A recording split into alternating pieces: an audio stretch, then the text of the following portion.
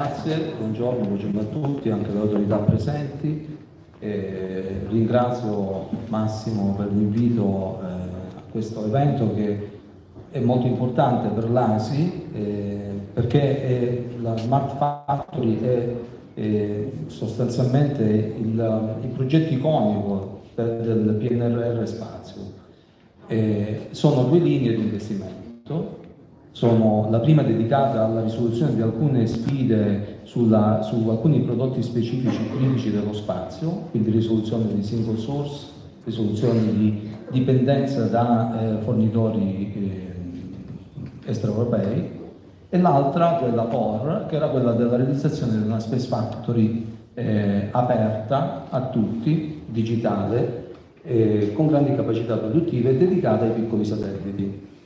Ora qui ho sentito parlare prima di sfide, campioni nazionali ed era proprio questo di cui avevamo bisogno, di un campione nazionale eh, che uh, cogliesse questa, questa, sfida. Perché? Perché quando abbiamo iniziato a progettare il PNRR, questo progetto sembrava proprio quello più sfidante, cioè noi realizziamo col PNRR la costellazione iride, realizziamo l'in-orbit service, siamo leader eh, in questo momento a livello europeo eh, per le operazioni orbitali di prossimità eh, con grandi progetti, però questo progetto è proprio quello era più difficile, perché? Perché per molti arrivare a una standardizzazione, a una condivisione di metodologie, ma anche target di prodotto comune a una filiera, sembrava una cosa molto difficile da realizzare perché il nostro sistema in cui si fanno prototipi, ci si fanno missioni che sono prototipate, Franco lo sa, eh, nella sua esperienza in ESA più che decennale, insomma trentennale, sa che cosa, che cosa significa.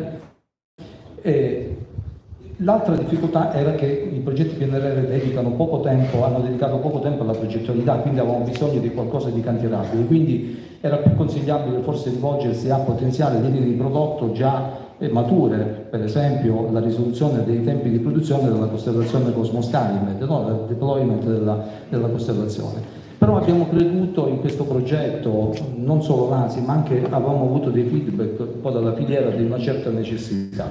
Qual era la necessità? Il nostro Paese ha investito negli ultimi anni, a partire dal 2016, su una linea di prodotto che è quella dei piccoli satelliti. Sono satelliti eh, che eh, oggi sono in grado, grazie alla miniaturizzazione delle tecnologie, di deliberare, di dare dei dati che sono utili per eh, applicazioni eh, commerciali, per eh, applicazioni istituzionali, ma anche dati scientifici importanti. Abbiamo investito così tanto che noi siamo i leader europei in questo settore. Quando si parla di satelliti, piccoli satelliti che sono in grado di dare un prodotto vero, non una, una dimostrazione, semplice dimostrazione, si parla italiano. Ma noi siamo a livello internazionale anche solo dietro agli Stati Uniti, cioè la, filiera, la nostra filiera dialoga con la filiera statunitense, chiaramente non solo nel settore dei piccoli satelliti, ma in questo settore siamo gli unici. Cioè noi abbiamo, scambiamo con i giapponesi, con le altre potenze eh, europee e eh, internazionali, nessuno ha questa potenza, questa capacità di filiera. Quindi questo è importantissimo.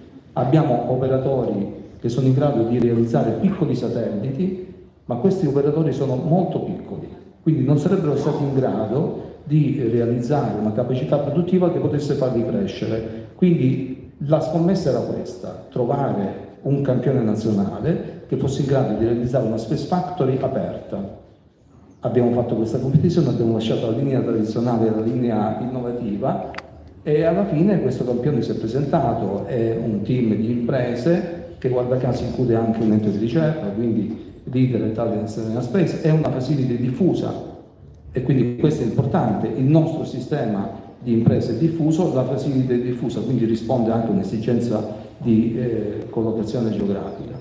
Quindi questi sono elementi importanti che sono elementi Diciamo, e quindi il momento giusto, ce ne abbiamo una serie di operatori in grado di realizzare questi oggetti, arriva la Space Factory, questa Space Factory sarà aperta. Perché sarà aperta? Sarà realizzata da questo team di imprese, la tale Salina Space con eh, SITER, CIRA e Arcotec, una piccola e media impresa, e eh, sarà poi gestita attraverso una eh, partnership pubblico-privata di cui l'ASI è proprietaria al 49% e che potrà eh, for- rendere disponibile la propria quota di proprietà a tutto il resto del comparto. Quindi questo ci sarà un'accessibilità da parte di tutti gli operatori nazionali e quindi quella logica di filiera di cui ho sentito parlare prima, perché non si vince da soli, è chiaro che non si vince da solo, ormai la, la, la sfida è globale, non, non, le nostre aziende non possono più misurarsi a livello nazionale, devono poter vendere sistemi in tutto il mondo per poter sopravvivere. Quindi questa è diciamo, la sfida che cogliamo con questo, questo evento di oggi. Abbiamo iniziato, abbiamo posto la prima pietra, ma i lavori stanno andando avanti già da un bel po' e tra poco ricominceremo a realizzare le infrastrutture la cosa importante è che questo laboratorio include, questa facility includerà anche un laboratorio, un joint lab che sarà aperto agli enti di ricerca. Non dobbiamo dimenticare che il mondo dei piccoli satelliti è nato nelle università e attraverso un trasferimento di tecnologia è arrivato al settore industriale. Questo deve essere il motore di, questo, di questa facility è importante perché è il motore della crescita. Quindi è il motivo per cui, come dicevo prima, per noi è il, il progetto più rappresentativo. Perché il progetto più rappresentativo? Perché il PNRR era un intervento destinato alla crescita e di fatto noi stiamo eh, realizzando un oggetto, una, una facility che servirà alla crescita delle nostre imprese e questo è l'augurio. Quindi in bocca al lupo, eh, abbiamo tutto pronto e quindi dobbiamo solo partire. Grazie.